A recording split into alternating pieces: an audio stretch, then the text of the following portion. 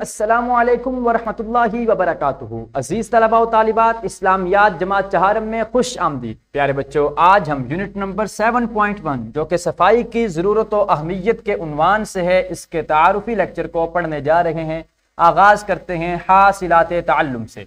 कुरान और सुन्नत की रोशनी में सफ़ाई की ज़रूरत व अहमियत को जान सकें। अपने माहौल में सफ़ाई के मसाइल से आगाही हासिल कर सकें। अपने इर्द गिर्द के माहौल को साफ़ रखने में बतौर मुसलमान अपना किरदार अदा कर सकें, अपनी अमली ज़िंदगी में सफ़ाई के फ़वाद असरात से आगाह हो सकें और इसका अहतमाम कर सकें। अज़ीज़ तलबा तालिबात, जैसे ही आप किताब के सफ़ा नंबर 106 का आगाज़ करेंगे, आपके सामने होगा बाब हफ्तम, जिसका उनवान होगा इस्लामी तालीमत और असर हाजिर के तकाजे, और सबक का उनवान होगा सफ़ाई की ज़रूरत और अहमियत, जो कि सबक नंबर 7.1 होगा।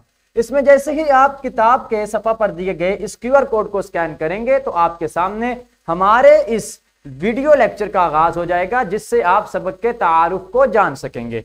प्यारे बच्चों, इस दूसरे क्यूआर कोड को स्कैन करने की मदद से आप सफ़ाई की ज़रूरत, अहमियत अपने माहौल में सफ़ाई के मसाइल से आगाही और इर्द गिर्द के माहौल को साफ़ रखने में बतौर मुसलमान अपना किरदार अदा कर सकने के बारे में वाकफियत हासिल कर सकेंगे।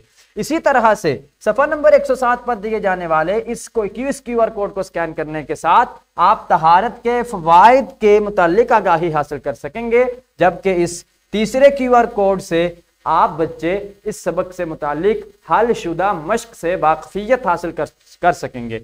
अज़ीज़ तलबा तालिबात जहनी आजमाइश के उनवान से पढ़ना, सुनना और बोलना के सवाल भी होंगे और लिखना के सवाल में खाली जगह पुर करना सवाल के मुख्तसर जवाब तहरीर करना और सवाल के तफसीली जवाब तहरीर करना वगैरह शामिल होंगे। सरगर्मियाँ भी हर सबक में शामिल की जाती हैं ताकि आप बच्चे सबक से मुतल मजीद अहम किस्म की मालूम भी हासिल कर सकें।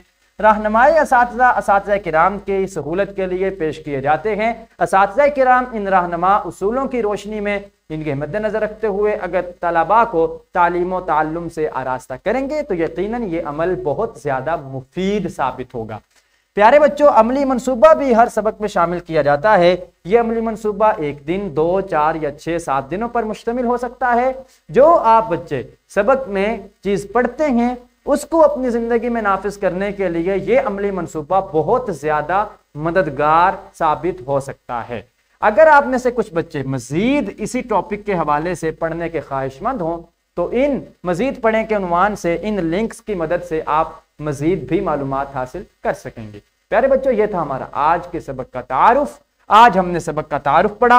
अगले क्यू आर कोड की मदद से हम इस सबक की तफसील जानेंगे। इन ताजल इसके साथ ही मुझे इजाज़त दीजिए, मुलाकात होगी कल के लेक्चर में। अल्लाह करीम हम सब कहा मुनासर हो? असलकम वरहमल वर्का